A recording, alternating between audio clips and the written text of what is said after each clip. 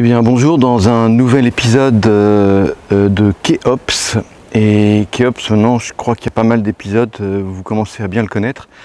Et, regardez les premiers épisodes, il est n'est pas reconnaissable. Hein. vous voyez qu'en fait ça sert vraiment à quelque chose de, de, s'amuser et de travailler avec, avec ces plantes. Hein. là, il commence vraiment à bonifier. Alors, dans les épisodes précédents, j'ai surtout travaillé la partie supérieure. Donc euh, aujourd'hui, euh, j'ai envie de vous montrer comment on fait pour euh, travailler l'enracinement. Et, c'est en, fait la, en fait la partie 5 de, ma méthode simplifiée de, sculpture des rosiers du désert. donc ce que j'ai fait en pratique, c'est que je l'ai sorti de son pot il y a à peu près une semaine. Euh, je l'ai lavé et puis je l'ai laissé à l'ombre euh, sécher un petit peu. Et puis surtout, ça lui permettait un peu déjà de commencer à cicatriser pour euh, les petites blessures qu'il y a eu pendant, le dépotage et pendant le, lavage. après, j'ai pas touché. C'était plus par manque de temps qu'autre chose en fait. Je voulais quand même le montrer en, vidéo avant de, avant de, de le rempoter. Euh, et, donc en pratique, euh, la phase 5, en fait, ça, sert à avoir, euh, ça sert en fait à, multiplier et compacter les, racines. c'est exactement l'équivalent, le, pendant de la phase 4 sur la partie aérienne.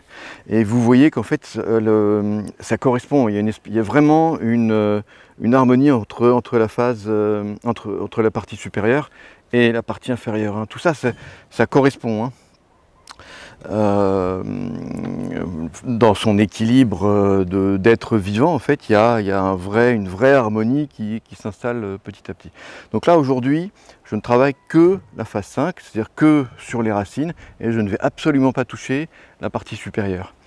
alors en pratique, en pratique, ce qu'on ce veut obtenir, hein, c'est quelque chose qui part au-dessus, c'est d'avoir euh, des, racines assez qui partent un peu dans, tous les sens euh, de la plante, mais en même temps qui correspondent au mouvement de, l'arbre. Donc dans, son cas-là, en fait, là, le, maximum de racines va exactement dans le même mouvement que, que, les, que les branches principales. donc on va continuer à suivre ça. Alors la première chose à faire, en fait, ça va être de supprimer tout, ce qui n'est pas terrible, tout ce qui est un peu moche, tout ce qui est un peu moche quand on, le regarde par au-dessus. Parce que de toute façon, là, je vais le replanter un, peu de façon surélevée dans son pot euh, par rapport à la façon dont il était planté auparavant. Euh, donc là, il ne faut plus qu'il y ait de, racines qui partent vers le haut. Alors par exemple, euh, là, celle-là, là, eh ben, elle n'a aucune raison d'être. Euh, alors, un, truc important, c'est quand on taille les racines, il faut vraiment être tangent euh, à, la, racine principale parce que sinon, ça a vraiment tendance à, refabriquer de nouvelles racines, plus petites, etc. Surtout si c'est euh, si un peu recouvert par du compost. Donc il faut vraiment veiller à ça. quand on est bien tangent à la, à la, la racine, en fait, dans ce cas-là, ça va bien cicatriser et il n'y aura pas tendance à, une rhizogénèse euh, excessive. Alors, donc euh, toujours, toujours la même chose. Et, l'idéal aussi, ça va être de, euh, dégager, de simplifier en même temps hein, le, départ des, grosses racines. alors, mais en même temps, dès que je vois, j'en profite, hein, c'est bien de faire la partie qui part vers le haut, mais au, passage, quand on voit des racines qui partent vers le bas, euh, trop verticalement vers le bas, bah, autant s'en débarrasser tout de suite, comme ça c'est fait.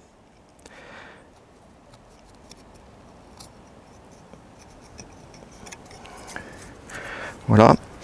Alors là, l'épiderme qui, était, qui était dans le substrat, en fait, il a commencé à, il a commencé à fabriquer des, euh, un petit peu de chlorophylle, pas beaucoup, ça se voit pas beaucoup, mais ça va commencer à le faire. Donc euh, petit à petit, en fait, toute la plante aura la même couleur d'épiderme partout.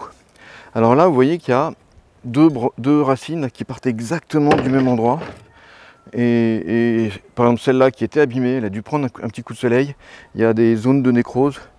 Et eh ben je m'en débarrasse complètement.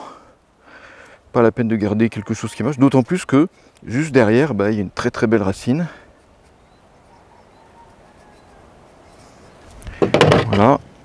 On reprend un peu la, la section avec une lame de scalpel. Alors là, c'est des, des, euh, des, racines assez anciennes, donc elles sont très très fibreuses. Les adéniums n'ont pas de bois, mais quand ils commencent à devenir âgés, ils ont des, fibres. Hein, et c'est là où vous savez que vous avez bien cultivé votre adénium. C'est quand vous avez des fibres dures comme ça qui sont à l'intérieur et pas que de l'eau. Hein, parce que le, le, risque, c'est souvent on, aime bien les engraisser et puis on se retrouve avec des, des plantes gorgées d'eau. Et qui dit euh, trop d'engrais euh, dit euh, des plantes gonflées à l'eau, dit des plantes qui sont qui sont beaucoup moins résistantes aux, attaques d'une maladie. Hein. et, là, en ce moment, on a bien compris l'importance d'avoir un, organisme sain en pleine forme. Hein. Quand les adéniums sont en pleine forme, ils arrivent à se battre contre contre beaucoup d'attaques euh, eux-mêmes sans que vous ayez besoin d'intervenir.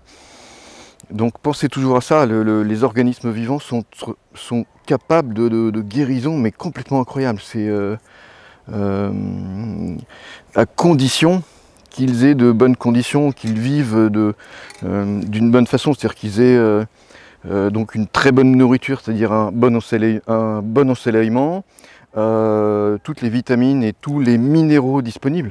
Et ça, ça se retrouve dans ce que vous apportez euh, dans les engrais. Il hein. ne faut pas oublier que les engrais ne sont pas la nourriture des plantes. Hein. on confond toujours.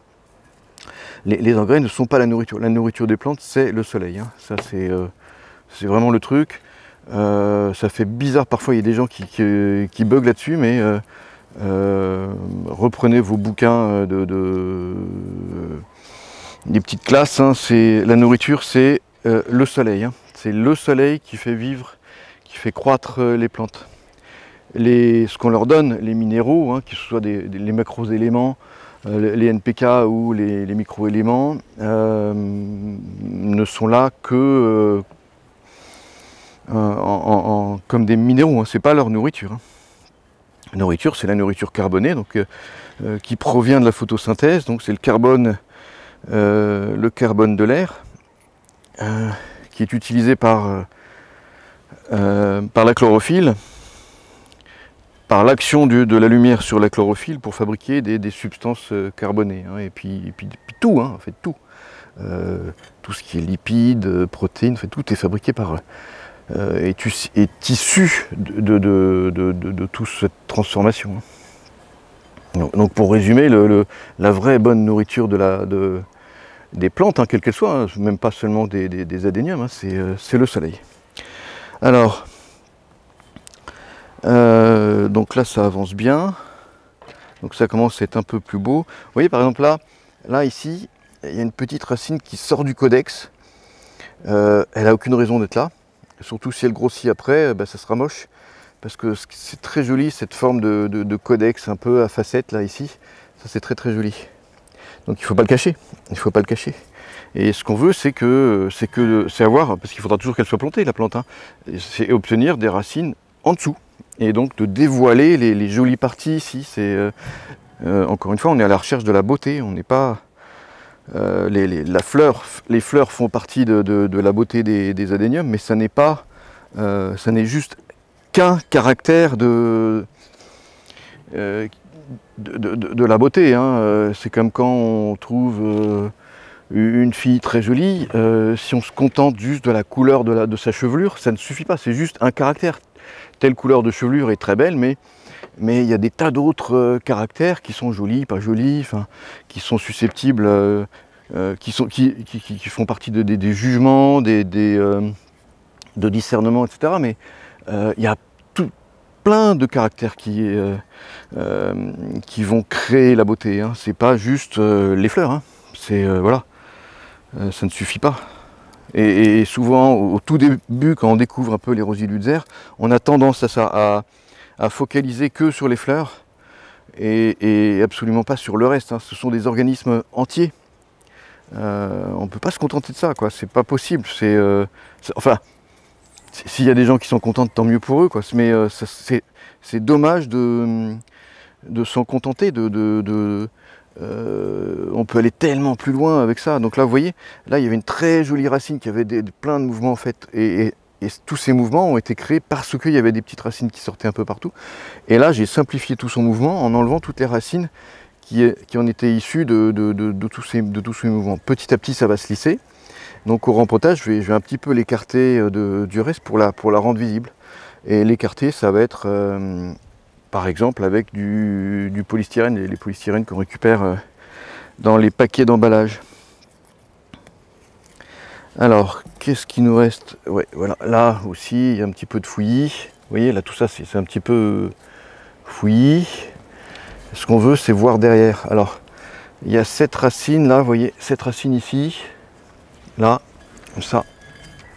Je sais sais pas trop si elle est utile. Euh, si on la laisse là, en fait, ça va faire développer ici. Euh, ouais, je vais la laisser pour l'instant. Cette racine est très jolie. Euh, celle-ci ici, elle a aussi un très joli mouvement. Euh, là aussi, ça je vais le laisser parce que ça va participer. Là, voilà, toute cette racine, elle est pas mal.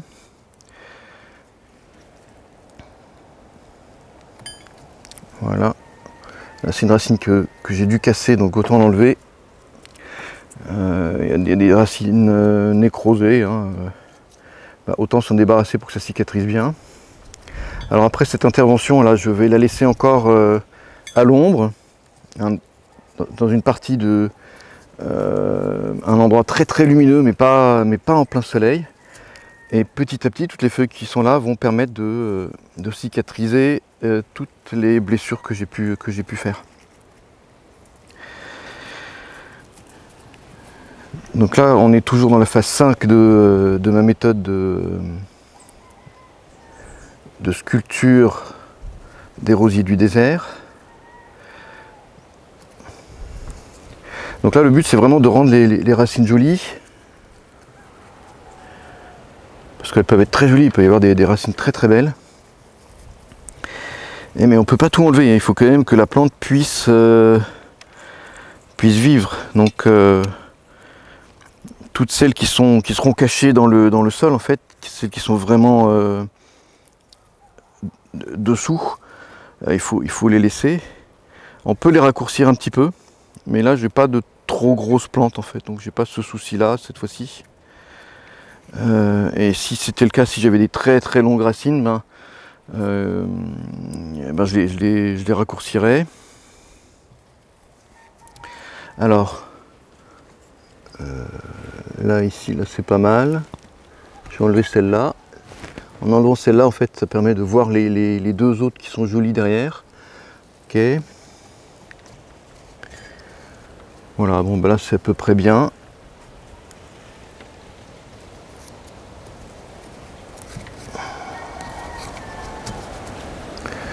Ah non, là, là j'en ai des petites qui n'ont pas d'intérêt.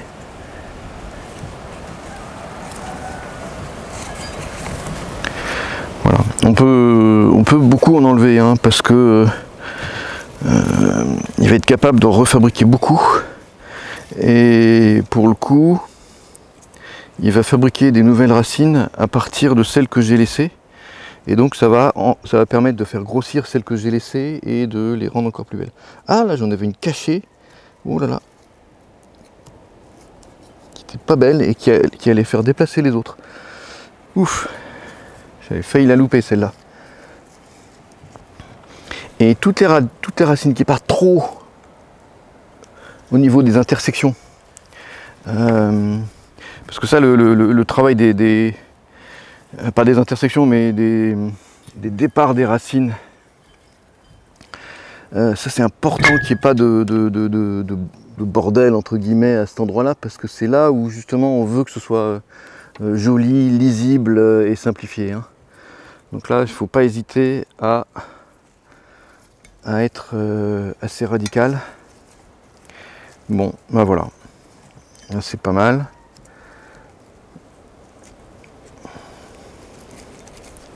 Ouais, c'est pas mal du tout. C'est pas mal du tout. Euh, voilà, donc là je vais le replanter et pour le coup en le replantant, euh, donc je vais avec des petits morceaux de polystyrène, je vais séparer les racines pour les, pour, leur donner du mouvement. Euh, je vais pas le faire tout de suite, je vais le faire dans à peu près une semaine, le temps que tout cicatrise joliment, tout soit sain. Et dès que je vois que c'est le cas, hop, je replante tout et, et je vous donne rendez-vous pour un prochain épisode un prochain épisode euh, avec Keops. Et, Keops, je crois que c'est le premier euh, spécimen que je vous ai montré. Et euh, ouais, je vous encourage quand même à, aller voir le, premier épisode. Vous allez voir, en fait, il ressemblait, il avait déjà un peu, on, voyait bien à quoi il allait ressembler, mais mais vous voyez qu'il a pris de la maturité. Là, il commence à, il commence à être magnifique. Hein. alors, il y a plein de choses qui ne sont pas encore réglées mais, et qui participe de la maturation, de la, de la maturité plutôt, euh, de, cette plante. Euh, et, ouais, et donc, alors là, vous voyez en fait tout, ce mouvement, hein, c'est ça que je vous dis là. Là, ça ne m'intéresse pas d'avoir euh, des racines complètement radiales et, bien régulières tout autour d'un tronc, comme on peut voir sur des, sur des, euh, des capoquiers, des, des, fromagers, des, euh, sabliers. Hein. Euh, ce que je veux, c'est avoir quelque chose, un, enracinement qui correspond, qui va, qui correspond en fait à la, au mouvement de, la plante. Et, là, c'est pas mal du tout. petit à petit encore, là, les, les insertions des, grosses racines vont continuer à grossir, vont continuer à se, à se fondre, à se lisser dans le, dans toute cette partie du codex. Et, je vais avoir une, euh, une œuvre qui sera vraiment euh, globale, quoi. Il y aura vraiment euh, une, cohérence dans, l'ensemble des, mouvements. Hein. C'est ça qu'il faut rechercher. C'est une des voies de, la recherche de, la beauté des, rosiers du désert. C'est pas. voilà, il faut vraiment s'inspirer des plantes qu'on voit dans la nature j'en ai parlé au tout début, euh, n'oubliez pas que les plantes sont capables, les êtres vivants sont parfaitement capables euh, d'être en très très bonne santé et à condition qu'ils aient des bonnes conditions euh, d'environnement, de culture, et, etc. Hein. Là, on l'a vu avec la crise qui s'est passée en, ce moment. souvent, c'est bien plus déterminant d'être que, que vous vous occupiez bien de vos plantes et de vous-même. Hein. Euh, n'attendez pas après les, des médicaments, des, phytosanitaires pour vos plantes, etc. Euh, mais occupez-vous-en très très bien pour qu'elles aient une santé euh, en béton. Vous voyez, qu'elles soient bien, bien puissantes. Là, là, ça fait une semaine qu'elle n'a pas aspiré d'eau. Elle est puissante, elle est, compacte, elle est, on sent qu'elle est en pleine santé. Hein. si c'était une plante que j'avais bourrée d'engrais, euh, cultivée euh, à la euh, Pays-Bas, elle, serait, gonflée, il y aurait plein de fleurs, plein de feuilles, plein de... Mais elle serait fragile. Mais elle serait fragile. Hein. on l'a vu, hein, ceux, tous, ceux, tous, ceux, qui sont un petit peu, qui ont des problèmes d'obésité ont eu des soucis.